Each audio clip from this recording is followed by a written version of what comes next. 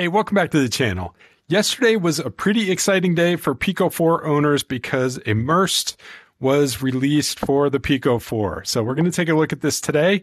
If you don't know what Immersed is, it is a fantastic productivity tool where you can uh, remote into a computer from virtual environments. You can have multiple desktops, even virtual desktops that you don't have physically attached to your computer. And it works from Windows, Mac, and Linux, and the Pico 4 version works with all of those different computer types as well. So here we are in Immersed. You can see it's logging into my computer, and this is my desktop. I'm on a Windows machine right now, obviously. And these are the two physical displays that I have hooked up to that computer. If we want, we can add more physical displays. There's also ways to do like a virtual ultra wide. Um, I'm not going to go into the details of Immersed right now. I kind of wanted to talk to you about this uh, from the perspective of how it compares to the Quest 2 and the Quest Pro, because there's been a ton of questions on that. So let's start with that. And first of all, the clarity on this is much better than the Quest 2, but not as good as the Quest Pro.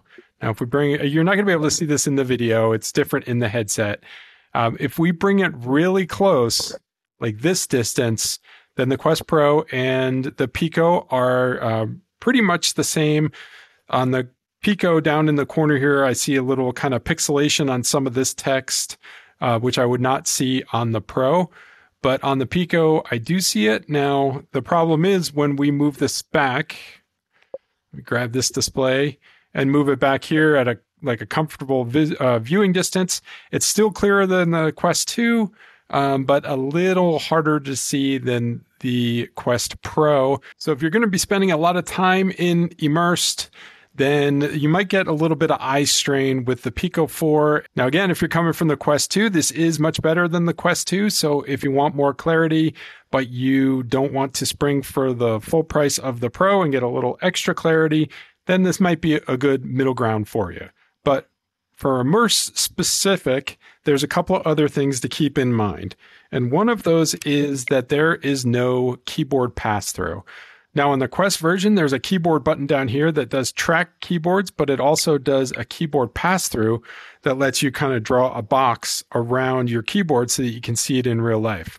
That doesn't exist in the Pico version of Immersed. You, what you can do is you can go into full pass through so this is the quote unquote mixed reality mode. And you can see that you can see my messy office now and we keyboard here and you can easily put your hands on the keyboard. The problem with uh, the Pico mixed reality mode is that it's kind of flat. There's not a lot of depth to it. So it's, uh, it's kind of weird to use. Um, so just keep that in mind. It is usable.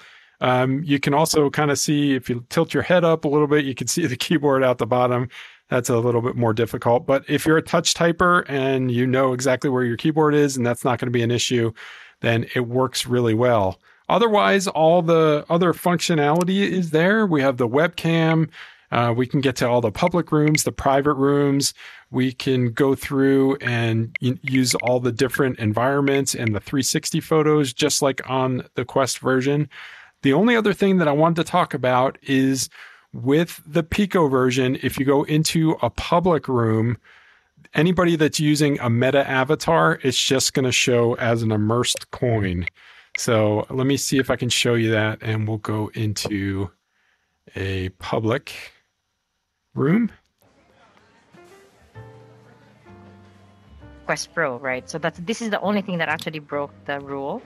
I was planning on not. So all these people have these this year. Well, this is immersed icons, so they're all using yes, mm-hmm. that's the true. meta avatars. And, you know, so, any- so now we're back in the private room, and another option for your avatar is you can use a Ready Player Me avatar. So if you use this Ready Player Me avatar, then people on the Quest will be able to see your avatar. And if anybody on the Quest is using this avatar, the Pico users will be able to see that avatar as well. The problem is the vast majority of the people on the Quest versions don't use that avatar. So we have a little bit less clarity than the Pro. We don't have that pass through keyboard and um, there's an issue with the avatars. So just keep those in mind. If you're looking for an upgrade from the Quest 2 and you don't mind those missing features, this would be a good upgrade for that. It is quite a bit clearer than the Quest 2.